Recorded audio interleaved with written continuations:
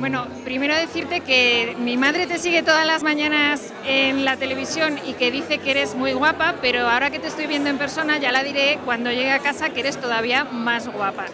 Eh, ¿Qué supone para ti este reconocimiento de los compañeros de la televisión? Pues eh, es el reconocimiento en sí a todos los eh, periodistas que trabajamos en televisión o en radio y a fin de cuentas yo me defino más como más que presentadora comunicadora con lo cual pues se agradece muchísimo. ¿Qué es más difícil, la radio o la televisión? Todo aquello, aquel trabajo que se emprende con vehemencia requiere mucho esfuerzo y mucho estudio, pero cualquier empresa ¿no? que vayas a abordar, da igual. Sí que es cierto que la televisión es más compleja porque requiere de muchos más miembros para poder lanzar una imagen, un sonido, que la radio, ¿no? que la puedes hacer en realidad casi desde cualquier sitio. La televisión es más complicada para moverla.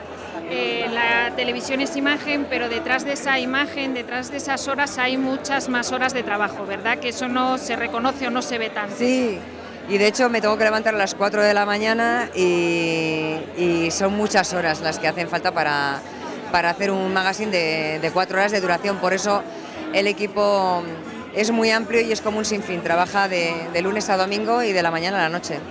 Es lo que obliga ¿no? y lo que requiere. ¿Cuál es la noticia de estos últimos años en televisión que más te ha costado dar? Pues mira, a diario hay muchas noticias que cuesta muchísimo dar. Me, me gustan mucho las personas y cuando escuchas a una persona y y le preguntas para que le ayudes a contar su historia, realmente son emocionantes muchas de ellas. Y es muy duro llegar a empatizar con esas personas que tienes delante, ¿no? porque haces tuyo también su sufrimiento en caso de que sean historias duras. ¿no? Luego hay otras historias que son más divertidas y de las que también evidentemente pues, te alimentas. ¿no? A fin de cuentas para mí son mi inspiración todas las personas con las que hablo. ¿Y aquella entrevista que todavía no has hecho y te encantaría hacer? me quedan muchísimas y ojalá que tenga la oportunidad de, poder hacerlas. Pero hay muchísimas personas interesantes, muchísimas que me gustaría mm, que pudieran tener la oportunidad de contar su historia siempre que sea útil para la sociedad. Eh, cuando hablas de historias útiles para la sociedad, muchas veces nos fijamos en gente importante, pero hay gente que un pastor, eh, tenéis historias todos los días que a lo mejor no es de gente que sale todos los días en la televisión, pero que son mucho más interesantes, ¿verdad? Nosotros fundamentalmente entrevistamos a gente, en principio, eh, que no es eh, famoso y, contamos sus historias, claro, siempre que sean, pues mira, gente que ha emprendido un nuevo empleo o que ha hecho algo para superar una situación difícil, personas que están perdiendo familiares, en fin, hay muchas cuestiones que, que dar a conocer a la gente porque a fin de cuentas esas historias cuando las das a conocer son una lección de vida para el espectador. Eh, hemos hablado con algún otro compañero antes y nos ha dicho que eh, la televisión de ahora, por la crisis, está volviendo a lo que era la televisión de antes, más dura, más del día a día, más de dejarse la piel. ¿Tú crees que eso es así? Mm, no sé muy bien quién ha dicho eso.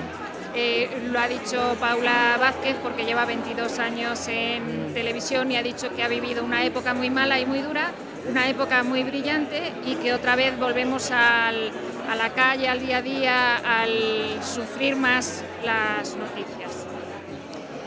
Bueno, la televisión eh, lo que tiene que contar es lo que pasa y sobre todo buscar la verdad, que es el trabajo del periodista y eso creo que se ha hecho siempre. Estamos en una época en la que se ha atomizado mucho la forma de ofrecer información.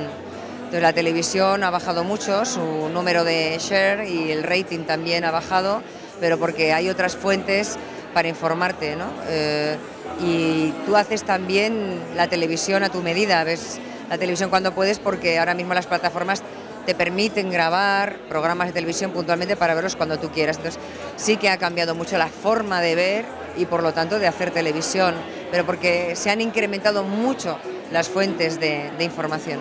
¿Algo que te quede de hacer en esta profesión que no hayas hecho? Vivir mucho.